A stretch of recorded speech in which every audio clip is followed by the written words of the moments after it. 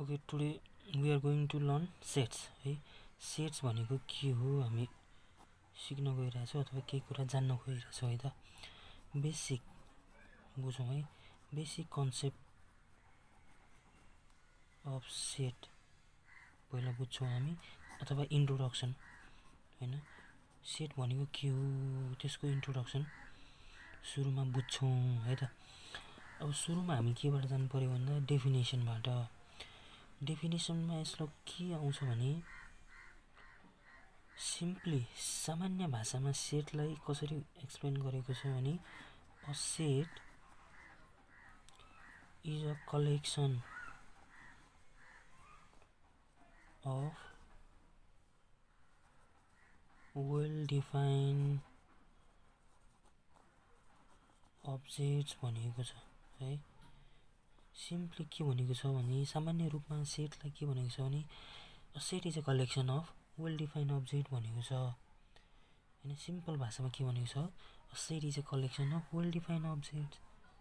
अब होइन collection collection भनेको त के हो? लाइक ग्रुप त हो नि कलेक्सन भनेको के हो? ग्रुप कलेक्सन भनेको लाइक ग्रुप हो समूह है? अब वेल डिफाइन भनेको चाहिँ के हो भने वेल डिफाइन वेल डिफाइन भनेको के हो? लाइक डेफिनेट अथवा डिस्टिङ अथवा के भन्छ फिक्स्ड फिक्स पनि भन्न सकियो। है निश्चित भन्नु खोजेको यो भनेको के सबै भन्नु खोजेको। निश्चित निश्चित भन्नु खोजेको। है फिक्स भ्यालु भनेको निश्चित भ्यालु हुनु पऱ्यो। है अब collection collection of any well defined well defined objects can be a set के हुनसक्छ होइन कुनै पनि वेल डिफाइन्ड अब्जेक्टको कलेक्सन के हुनसक्छ? सेट हुनसक्छ। है? कुनै पनि वेल डिफाइन्ड अब्जेक्टहरू छ भने तिनीहरूको कलेक्सनलाई के भन्न सकियो? सेट भन्न सकियो। है? के भन्न सकियो? सेट भन्न सकियो। अब वेल डिफाइन्ड भनेको के हो? हामी इक्जाम्पलबाट बुझौँ है त? फर इक्जाम्पल इक्जाम्पलबाट बुझौँ त वेल डिफाइन्ड भनेको के हो? A set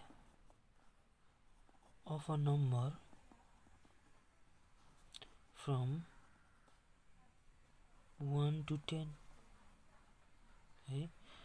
Set of number from one to ten one to ten भनेको त के हो? डेफिनाइट नम्बर हो। एकदेखि दससम्म के हुन्छ? जहिले पनि फिक्स नम्बर हुन्छ। त्यो के के नम्बर हो?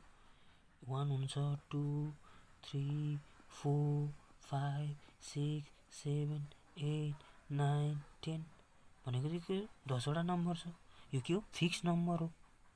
अब यो फिक्स भनिसकेपछि के हुने भयो? यो वेल डिफाइन हुने अब यो के छ यो के वेल डिफाइन यो सेट वेल डिफाइन भइसकेपछि यो के भयो? It becomes now it becomes well define and well define भएपछि यो के भयो? सेट भयो। सेट भयो। यो वेल डिफाइन भएपछि के के भयो? यो सेट भयो। है?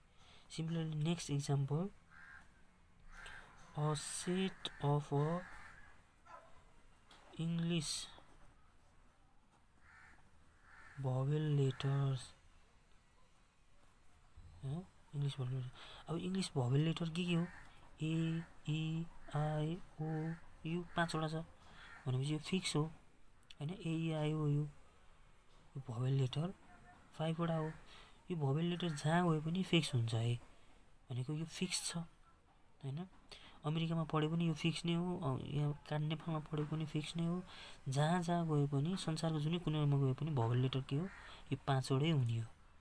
त्यही भएर यो के हो डेफिनाइट छ होइन? यो फिक्स छ फिक्स भ्यालु छ पाँचवटा छ। भनेको यो पनि के भयो वेल डिफाइन भयो। यो वेल डिफाइन भइसकेपछि के भयो यो पनि के भयो सेट भयो। है? अब नेक्स्ट इक्जाम्पल हामी नेक्स्ट इक्जाम्पल हेरौँ है a set of students having long hair है त्यसै गरी a sets of a smart students in a school त्यसै गरी अर्को एउटा इक्जाम्पल लिउँ। Set of of a generous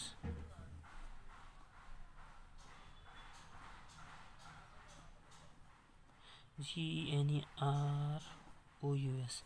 Generous people in Nepal in Kathmandu Kathmandu भनौँ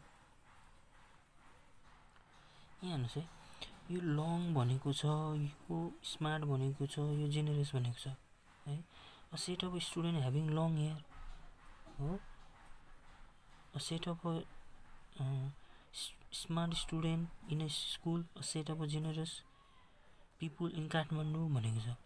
यो लङ स्मार्ट जेनेरस यो सबै के भयो भने not well define does not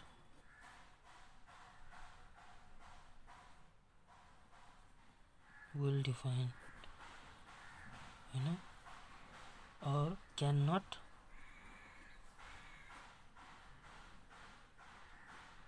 measure can not measure यसलाई के गर्नु भयो? मेजर गर्नु पनि नसक्ने भयो होइन? बरु हामीले यसलाई के भन्न सक्छौँ भने we can say that these words are relative terms Kina? because because the value or meaning value or meaning of these words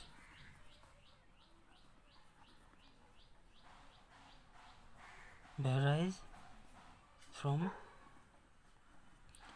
Person to person है?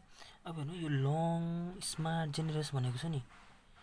यो के भयो? यो सेन्टेन्सहरू के भयो? यो वेल डिफाइन भएन। अब वेल डिफाइन हुनको लागि त के हुनु पऱ्यो डेफिनाइट फिक्स हुनु पऱ्यो होइन? अब यहाँ त लङ भनिरहेछ। कतिको लामो हो? होइन यस मेजर गर्न सक्दैन। फिक्स भ्यालु नै छैन नि त। कति लामो हो? पाँच सेन्टिमिटर हो कि दस सेन्टिमिटर हो कि होइन? कतिको स्मार्ट हो? हन्ड्रेडमा हन्ड्रेड ल्याउने हो कि होइन? हन्ड्रेडमा फिफ्टी ल्याउने हो कि भनेर यसले फिक्स तोक्यो त तोकेन नि फिक्स भ्यालु तोकेन। होइन कतिको जेनेरस हो त? यसले पनि तोकेन फिक्स भ्यालु तोकेन। न यसलाई त्यही भएर यसलाई नट वेल डिफाइन भन्यो होइन? त्यही भएर यसलाई मेजर पनि गर्न सकेन। कतिको लामो हो भनेर मेजर गर्न सकेन कतिको स्मार्ट हो भनेर मेजर गर्न सकेन कतिको जेनेरस हो भनेर पनि मेजर गर्न सकिएन हो? यो मेजर गर्न नसकेको हुनाले चाहिँ यो के भयो? रिलेटिभ टर्म्सहरू भयो। होइन? रिलेटिभ सम किन हो? किनकि यसको भ्यालु अथवा यसको मिनिङ मान्छेअनुसार फरक फरक हुने हो। होइन? अब कसैले लङ भने कति कसैले लङ भनेको भने पाँच सेन्टिमिटरलाई लङ भनेको कि? कसैले दस सेन्टिमिटरलाई लङ भनेको कि? कसैलाई हन्ड्रेडमा हन्ड्रेड ल्याउने स्मार्ट भनेको कि? कसैलाई ट्वेन्टी ल्याउनेलाई स्मार्ट भनेको हो कि? भनेको यो मेजर गर्नै सकेन। होइन? त्यही भएर यो नट वेल डिफाइन यो नट वेल डिफाइन भनिसकेपछि यो सबै के हो? These are not us. These are not sets now. यो के हो? सेट्स होइन। है? सिमिलरली एउटा a set of a best actor in Nepal अब हेर यो सेट अफ बेस्ट एक्टर यहाँ पनि बेस्ट भनेको छ। हो? यो बेस्ट भनेको के यो पनि के भयो? नट वेल डिफाइन भयो। यो के भयो? Not well define or can not measure यो पनि के भयो? क्यान नट मेजर हुने हो? क्यान नट मेजर कतिको चाहिँ बेस्ट हो त? भनेको चाहिँ के हो? क्यान नट मेजर मेजर गर्न नसक्ने भयो। होइन? के भने यो के भने के भयो? रिलेटिभ टर्म भयो। अब कसैलाई राजेशमल बेस्ट लाग्न सक्ला कसैलाई निखिल उप्रेती बेस्ट लाग्न सक्ला कसैलाई भुवन केसी बेस्ट लाग्न सक्ला। होइन? भनेको यो यो पनि के भयो? रिलेटिभ टर्म्स हो भयो पर्सन टु पर्सन के भयो? यसको एन्सर पनि के हुने भयो? डिफ्रेन्ट नहुने भयो। होइन? त्यही भएर यो के भयो? फिक्स भ्यालु भएन। त्यही भएर यो पनि के भयो? नट अ सेट यो पनि के भयो? नट अ सेट वेल डिफाइनै छैन। होइन? केलाई चाहिँ बेस्ट भन्ने। होइन? मान्छे अनुसार फरक फरक बेस्ट हुने भयो। त्यही भएर यो पनि के भयो? Not well defined not a set है?